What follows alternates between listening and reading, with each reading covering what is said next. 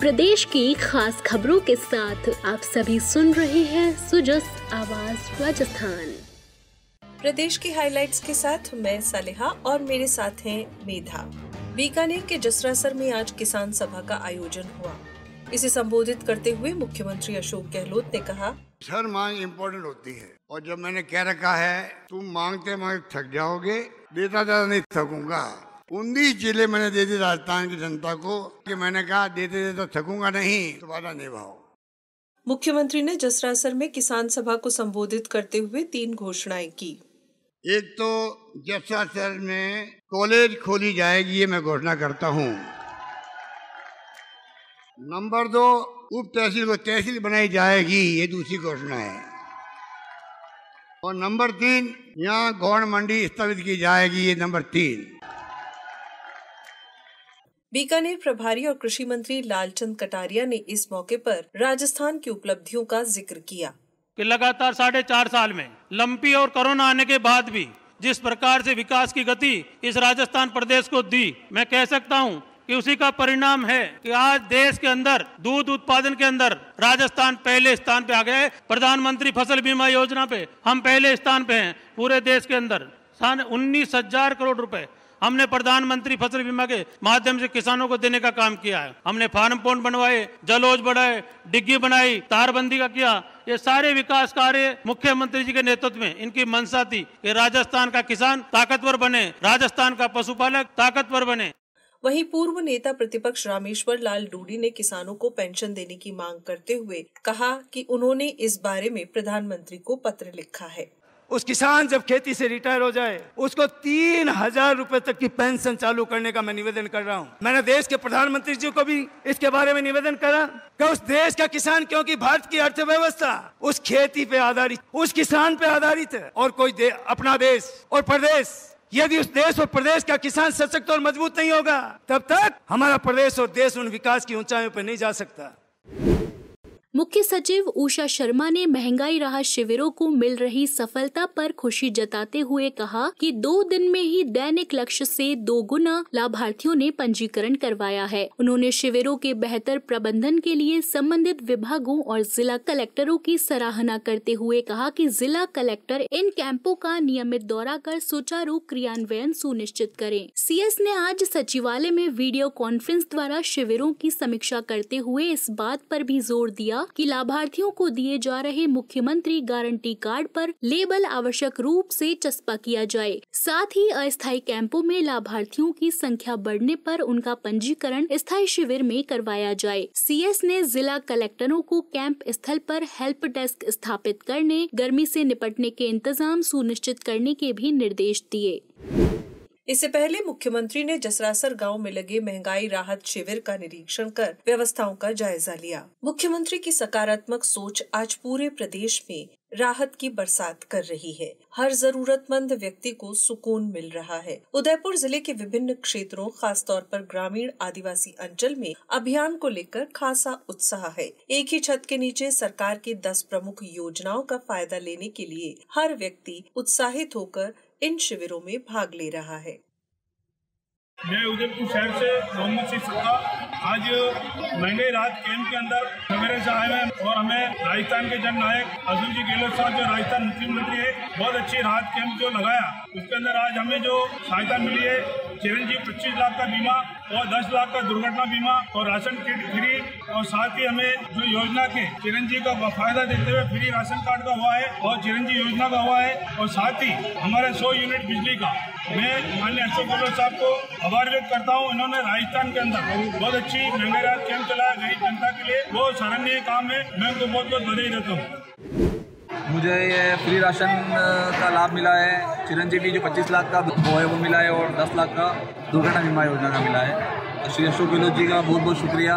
इन्होंने राजस्थान सरकार में हमारे लिए ये सुविधा उपलब्ध कराई है और प्रशासन का भी बेहद पहले भी शुक्रिया अदा करते हैं। मुख्यमंत्री की पहल पर राजस्थान सरकार की ओर से चलाए जा रहे महँगाई राहत प्रशासन गाँवों के संग अभियान के दौरान सीकर में फतेहपुर में विधायक हाकम अली ने मुख्यमंत्री गारंटी कार्ड वितरित किए। धोद क्षेत्र की जेठी ग्राम पंचायत में जेठी को बेरी गाँव से जोड़ने वाला लगभग चार किलोमीटर लंबा रास्ता पिछले 55 सालों से प्रचलित था, परंतु राजस्व रिकॉर्ड में नहीं था। यह प्रकरण धोद उपखंड अधिकारी के संज्ञान में आने पर उन्होंने तुरंत धोद राजस्व टीम को मौके पर भेजकर इसका प्रस्ताव तैयार करवाकर इस रास्ते का राजस्व रिकॉर्ड में अंकन करवाया और शिविर स्तर पर उपस्थित ग्राम वासियों को इसका आदेश प्रदान किया। मुख्यमंत्री ने एक और मानवीय पहल दिखाते हुए ये निर्णय लिया है कि सूडान से लौटने वाले सभी राजस्थानियों को दिल्ली हवाई अड्डे पर पहुँचने के बाद राज्य सरकार अपने खर्च पर राजस्थान में उनके अंतिम गंतव्य तक लेकर जाएगी। राजस्थान सरकार इन सब के लिए रहने और खाने पीने की भी व्यवस्था करेगी। मुख्यमंत्री ने पहले आंतरिक संघर्ष के कारण सूडान में फंसे सभी राजस्थानियों के लिए चिंता जताते हुए हेल्पलाइन नंबर शुरू किए थे, जिसका काफ़ी अच्छा रिस्पॉन्स मिला है। राजस्थान और यहाँ तक कि। राज्य के बाहर के कई लोग जिनके रिश्तेदार सूडान में हैं, ने इन नंबरों पर जानकारी मांगने के साथ साथ संघर्ष प्रभावित अफ्रीकी देश में मौजूद अपने व्यक्तियों के बारे में विवरण प्रदान करवाया है। Bikaner house resident commissioner office और राजस्थान फाउंडेशन के संयुक्त प्रयासों से सूडान में फंसे राजस्थानियों की सूची भी विदेश मंत्रालय को मुहैया करवाई गई है। राज्य सरकार ने प्रदेश में अवैध खनन, परिवहन और भंडारण गतिविधियों में विभिन्न पुलिस थानों में दर्ज एफआईआर पर समयबद्ध अनुसंधान कार्रवाई की मॉनिटरिंग व्यवस्था को चाक चौबंद किया है। ACS mines doctor Subodh Agrawal ने बताया कि प्रदेश में अवैध खनन गतिविधियों में दर्ज प्रकरणों में करीब इक्यानवे प्रतिशत मामलों में सक्षम न्यायालयों में चालान पेश कर दिया गया है। वही केवल दो प्रतिशत में जाँच का काम जारी है। कांस्टेबल भर्ती 2021 में समग्र वरीयता सूची से 19 अभ्यर्थियों का चयन हुआ है। पुलिस मुख्यालय जयपुर के रिव्यू बोर्ड ने आरएसी की दिल्ली स्थित बारहवीं बटालियन की कांस्टेबल भर्ती 2021 में कांस्टेबल सामान्य ड्यूटी के पद पर ज्वाइन नहीं करने वाले अभ्यर्थियों की जगह 19 अन्य अभ्यर्थियों का चयन समग्र वरीयता सूची से किया है। आर की बारहवीं बटालियन के कमांडेंट ने बताया की चयनित अभ्यर्थियों की सूची राजस्थान पुलिस की website W police dot Rajasthan dot G O V dot in पर देखी जा सकती है। एक्सपोर्ट ग्रोथ और फ्यूचर स्ट्रेटेजी ऑफ़ राजस्थान पर चर्चा करने के लिए राज्य के प्रमुख औद्योगिक एवं वाणिज्यिक संगठन और उद्योगपति इकट्ठा हुए। राजस्थान एक्सपोर्ट प्रमोशन काउंसिल की ओर से हुई इस बैठक में राज्य सीको चेयरमैन राजीव अरोरा ने भी हिस्सा लिया। उन्होंने बताया कि राजस्थान से एक्सपोर्ट में काफ़ी बढ़ोतरी हुई है और साल 2022-23 में यहाँ राजस्थान से लगभग अस्सी हज़ार करोड़ रुपए का रिकॉर्ड निर्यात हुआ है। यहाँ निर्यात के क्षेत्र में अपार संभावनाएँ हैं।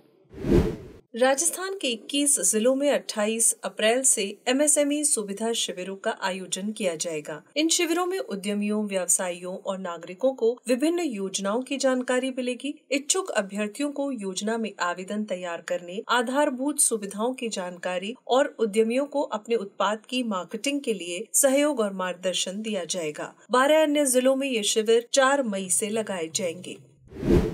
राज्यपाल कलराज मिश्र ने राजस्थान की प्रख्यात निशानेबाज अपूर्वी चंदेला को जगत गुरु रामानंदाचार्य राजस्थान संस्कृत विश्वविद्यालय की ओर से विद्या वारिदी की मानद उपाधि प्रदान की है। आज राजभवन के दरबार हॉल में राज्यपाल ने खेल जगत में भारत का नाम करने और उपलब्धियाँ प्राप्त करने के लिए अपूर्वी को शुभकामनाएँ दी। इस अवसर पर विश्वविद्यालय के कुलपति प्रोफेसर आर एस दुबे ने जगत गुरु रामानंदाचार्य राजस्थान संस्कृत विश्व विश्वविद्यालय की गतिविधियों के बारे में जानकारी दी। डूंगरपुर रेलवे स्टेशन पर आने वाली महिला यात्रियों के लिए बेबी फीडिंग रूम बनाकर रेलवे प्रशासन को सुपुर्द किया गया है। डूंगरपुर जिला प्रशासन और महिला अधिकारिता विभाग की ओर से ये सौगात दी गई है। रेलवे स्टेशन अब मदर फ्रेंडली बन गया है और महिलाओं की निजता और सुरक्षा का ख्याल रखा गया है। राजस्थान संगीत नाटक अकादमी जोधपुर की ओर से मुख्यमंत्री लोक कलाकार प्रोत्साहन योजना के तहत दो दिन की कार्यशाला हुई। राजस्थान सरकार की जन कल्याणकारी योजनाओं को आम जन तक पहुँचाने एवं उनके लिए गीतों, नाटकों और जिंगल का सृजन कर उन्हें संगीतबद्ध किए जाने के उद्देश्य से आयोजित इस कार्यशाला में राजस्थान के विभिन्न क्षेत्रों के लोक कलाकार, साहित्यकार और रचना धर्मी शामिल हुए। और अब जानिए मौसम का हाल। प्रदेश में एक नए पश्चिमी विक्षोभ के सक्रिय होने से आज दोपहर बाद कई जगह बारिश हुई। बारह के छबड़ा में ओले भी गिरे। जोधपुर, बीकानेर, अजमेर, जयपुर, उदयपुर, कोटा संभाग में कुछ भागों में कल तेज हवाएँ चलने और हल्की बारिश होने की संभावना है। नमस्कार।